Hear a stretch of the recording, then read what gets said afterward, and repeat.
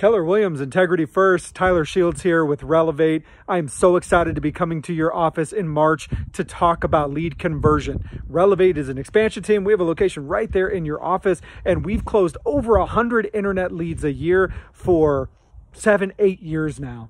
And we have over that time built systems and processes for not only generating, but converting leads at an extremely high level. And that's what I want to come and talk to you guys about. We'll talk about all the systems and processes we use to find leads online, to generate leads through command, to connect with those leads, leveraging smart plans and automations, to use correct and appropriate scripting, to convert those leads, and the long term follow up process we use to actually turn those leads into ready and willing buyers and sellers, and those ready and willing buyers and sellers into closings and dollars. We'll touch on all that. We'll touch on various online lead sources. We'll touch on how to make sure you convert any type of lead at a high level, and we'll touch on how to leverage command to build Facebook ads and generate cheap leads. So, I hope to see you there.